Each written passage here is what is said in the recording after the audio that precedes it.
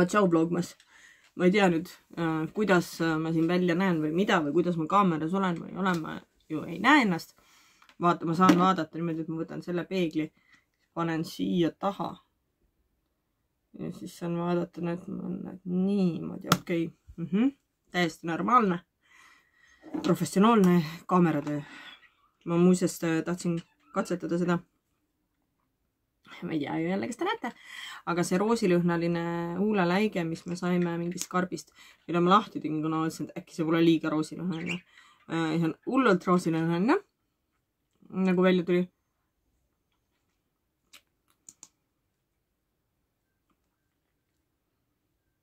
aga ma tahtsin, tahtsin katsetada, milline ta peal on ja, ja äkki ma suudan selle lõhnaga natuke ära harjuda aga ta on selline no viskab nagu erinevaid värve sisse ja mulle tundub, ma ei tea, kuidas teil kaamerast äh, paistab, aga mulle tundub, et nagu viskab päris palju sinist sisse. et ma ei tea, kas see on nagu kõige parem selline.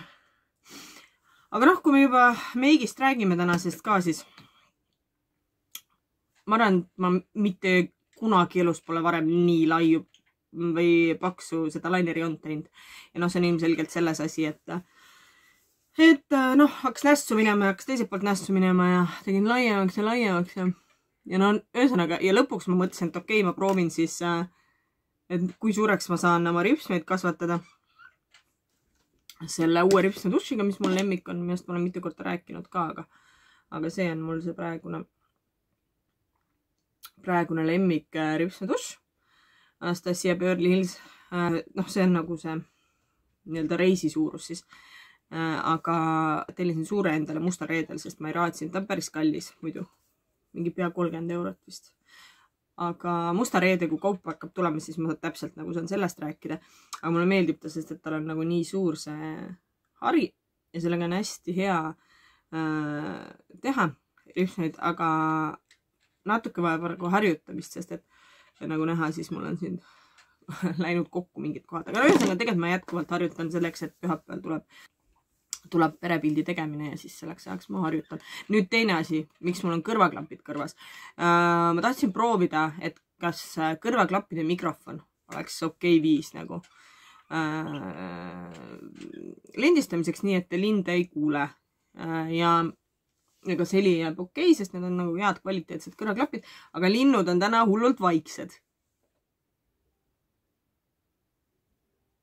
ma ei tea, mis neil viga on, aga nad on hullult vaiksed, nad on täiesti teises puuri otsas. ja ei taha üldse tulla, tulla välja. nüüd äh, tänane päevaplaan on siis selline, et ma tahaks ühe jõulukuuse üles panna äh,, mis ei ole toas, vaid on koridoris ma panin ta selles mõttes juba kokku, et näha, kas ta on okei okay,, sest ma tellisin või ostsin sealt äh, Handymanist, aga ma ei ostnud nagu seda odavat äh,, nagu kõige odavamat ma ostsin nagu siukse kallima, ta maksis peaaegu mingi nelikümmend eurot või mitte peaaegu, vaid üle neljakümne vist isegi.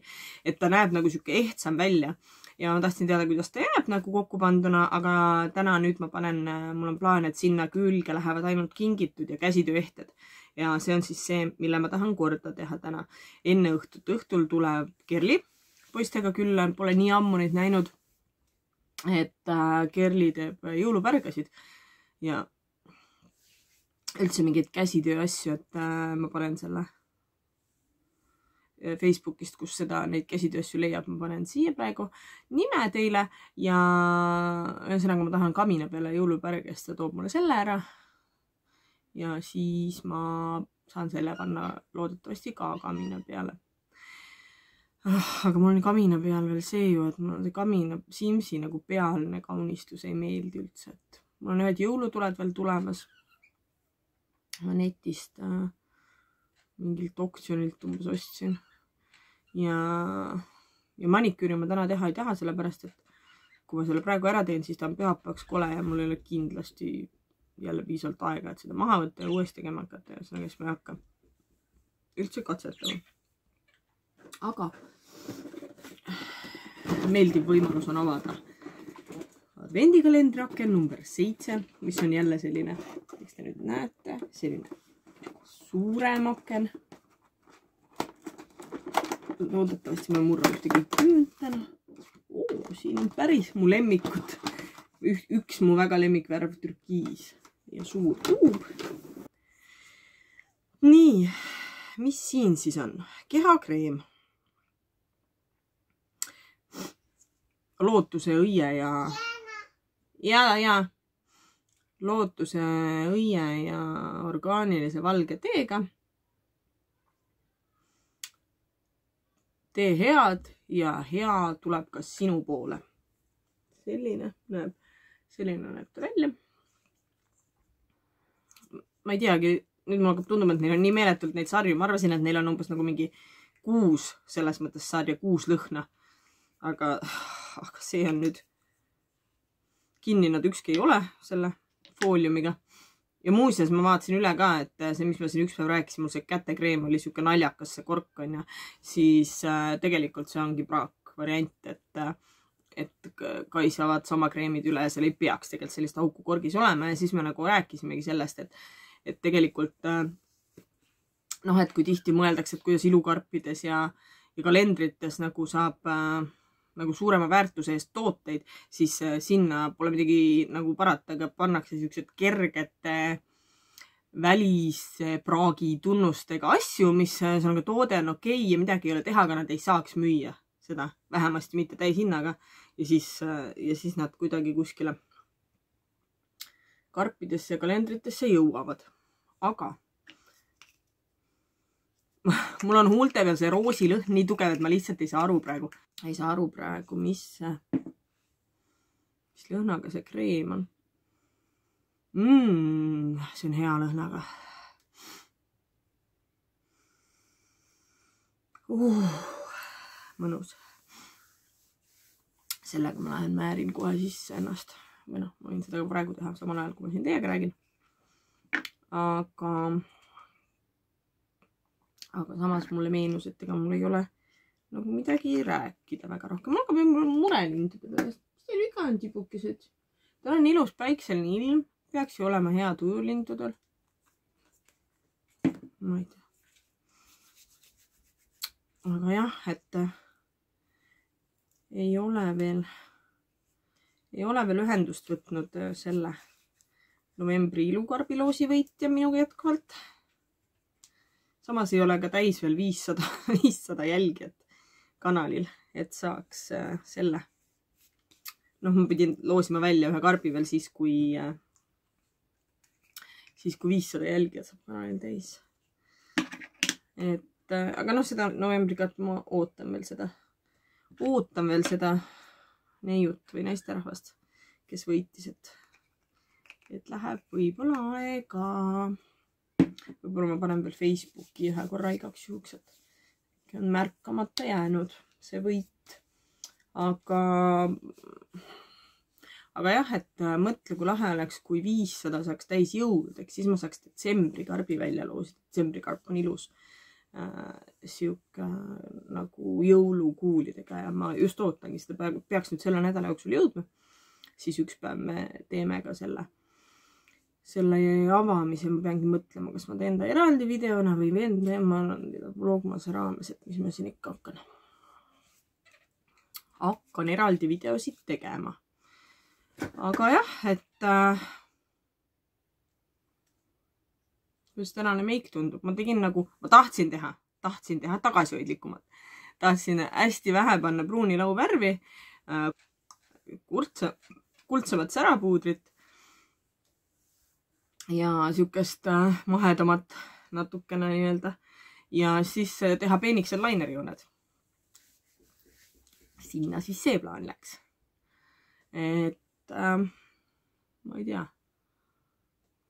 noh, et kui mõelda nagu jõulupildistamisele, kas te olete jõulupildistamisel muuseas käinud? andke mulle teada, kas te olete käinud jõulupildistamisel ära või kas te üldse lähete sellel aastal või mis te üldse sellest arvate?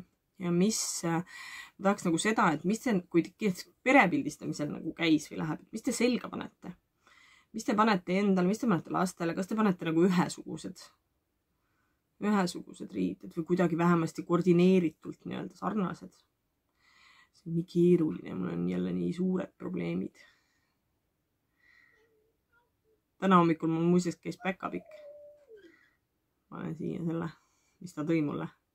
Päkapikud tunnevad tänapäeva meeleheitel koduperenaisi ilmselgelt. aga jah, et äh, okei okay,, ma pean minema, ma pean minema Laureni magama panema ja siis vaatame, mis selle kuusega saab, et tegelikult ma plaanisin täna panna müüki oma riideid. tahan panna sinna Facebookis on see mingi sihuke XL grupp teha nagu eraldi lõime sellise, et panna noh, et mis riided mul on ja kõik seljas pildid nagu, et inimestel oleks hea näha. Aga mulle hakkab juba tunduma, et ma ei jõua seda täna, täna nagu pildistada, et noh, lisaks mul on see kaamera ja ma issand, ma ei tea, jube tüütu, jube tüütu, aga okei okay,, ma praegu jooksen ja eks näeb, mis see päev meil toob edasi. Nii, ma sorteerin siin neid, neid äh, nii-öelda käsitöö ja kingitud ehteid, mis, äh, mis lähevad selle kuuse peale koridoris äh,. kingitud ehted on, neid ma näitan siis, kui peale panen, käsitöö ehetest. ühed on sellised äh,, sellised inglid. tellisin Marianile, Adrianile ja ja Laurenile. ja tellisin Adrianile, Marianile, Laurenile igaühele. Ja siis äh, need on mul klassiõe tehtud, ta nimi on Maarja Luik, kui te tahate ka tellida ja, ja otsida. aga muidu ma tahtsingi täna äh, Pärnu selliseid käsitöö inimesi natukene näidata, mis nad teevad, et äh, Kerli Pärga te nägite juba. Need on siit kõrvalt mul ühe tuttava, panen siia ka selle nii-öelda tema Facebooki poe lingi ja sii- või selle pildi ja siin on siis näed, kui ilusti, aitäh, kui viisakas. kuna ta elab mul siin kõrval tänamas, ta tõi mulle need koju ära ka. ja need on äh, siis sellised, sellised äh, käsitööehted, südamed ja ma tellisin talle viis, viis tükki ta käest. issand, kui ilusad ja nendega oligi lahe see, et äh, et ta ütles, et noh, et vali välja, et ta toob mulle ära. Ja siis ma ütlesin, et, et noh, et, et, et aga vali sina millised sinu arust võiks meile sobida. ja siis ta tegi ise selle valiku, et siis mul on nagu natuke üllatust ka. ja no tõesti imearmsad, täpselt siuksed nagu, nagu ma mõtlesin selle käsitööehete kuuse külge aga jah, et ma panen need kõik nüüd ühte kokku kuskile ja siis saab varsti hakata hakata kuuske kokku panema. paneme selle kuuse üles. panen selle kuuse nüüd siia nurka üldse.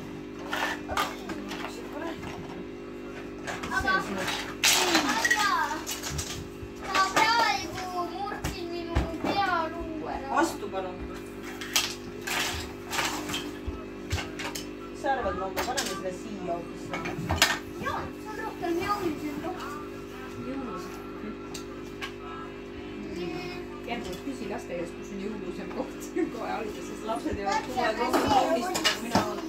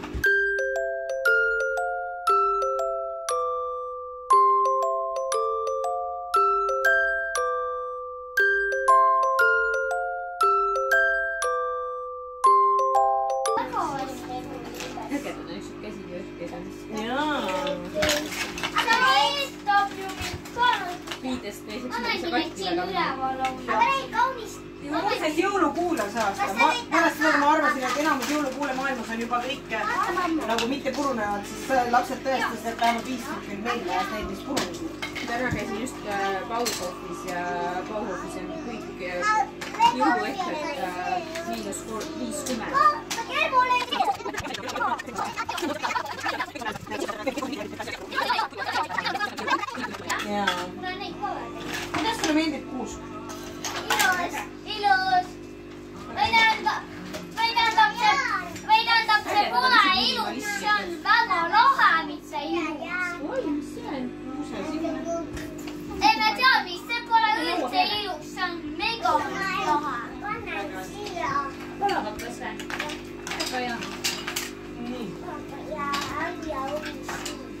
natuke aia oli või?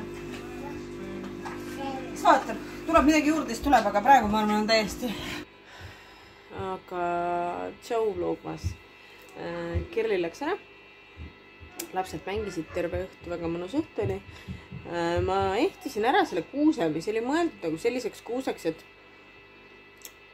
et ma ei too nagu praegu kuuske, et äh, see selles mõttes ma vabandan, kui ma ei ole üldse kaadris, sest ma ei näe ju, mida ma filmin aga, aga ühesõnaga jah, et mul oli mõeldud see selliseks ähm, esimeseks kuuseks esialgu koridori üldse. aga nüüd me tõime ta tuppa, sest et Kerli ütles, oo, aga siia sobiks. ja siis nagu, või noh, mina ütlesin, et oh, aga siia sobiks, Kerli ütles, jaa, nagu too siia. ma nagu ei tea, et ma ikka mõtlesin koridori, ta ütles ei, ei siia ja tõimegi. ja hullult ilus ja hästi sobib siia. ja, ja tibu. ja, ja nüüd, nüüd ma hakkan juba mõtlema, et äkki ei toogi see aasta päris kuuske, et see on nagu nii super kuusk. ma ei taha tuua äh,, noh, mulle kuidagi meeldib see mõte, et kuusk on selline, et siin on mõned üksikud valitud asjad peal, mis tähendavad midagi, igaüks. ja kui, kui kingitakse veel juurde, siis kingitakse, siis panen juurde. aga et ma ei, nagu mingit poest ostetud korda, poest ostetud korda üldse ei hakkagi, ei hakkagi panema palun ära tee. Sel aastal ja jätakski sellise hästi, hästi siukse tagasihoidliku, mis sina arvad, mammu, kas meil on vaja suurt värvilist kuuske või me paneksime tuled näiteks hoopis teistesse kohtadesse, kamina peale, ma tean, mõtleme, need väiksed kuuselambid, mis meil on, paneme need mööda kuuske. nojah, võib-olla ühed soojad lambid lihtsalt peale. Ja ülejäänud kõik need karrad ja värvilised tuled lihtsalt teistesse kohtadesse. ise ei lubanud meil üleval süüa. ja mulle tegelikult üha enam see mõte meeldib, et, et vaatame. ma tunnen, et tuleb mõnus nädal. nädal algas juba nii hästi, ma nii nautisin tänast õhtut. nii mõnus oli, me ei olnud Kerliga nii ammu näinud ja saanud rääkida ka ja, ja ülimõnus oli. ja, ja see nädal peaks veel Mari-Liis tulema külla. Kristile peaks külla minema. Berit lubas läbi tulla, et äh, et näen nagu kõiki selliseid toredaid inimesi ja no nädala lõpus muidugi pildistamine, kus ma näen venda ja vennalapsi, et äh, seda ma ootan ka väga, et, et neid tahaks ka näha. ja jah, et, et tänane päev oli selline, et kui mul oli tegelikult natuke nagu mure, et, et, et detsember juba jookseb ja mul ei ole üldse nagu sellist jõulutunnet siis täna mul tuli, täna mul tuli natuke selline jõulutunne, kui ma siin kaunistasin seda kuuske, lapsed mängisid. Kerli istus siin nurgas kakaod ja saime lobiseda ja, ja väga mõnus oli. et äh, ma loodan, et teil on ka mõnus ja teil hakkab natukene see jõulutunne tekkima, et et ilusat advendiaega ja näeme homme tšau.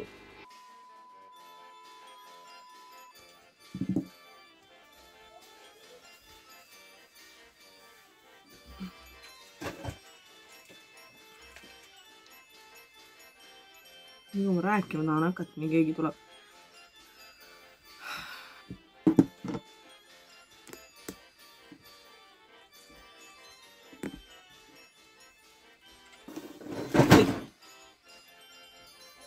kus nüüd küll?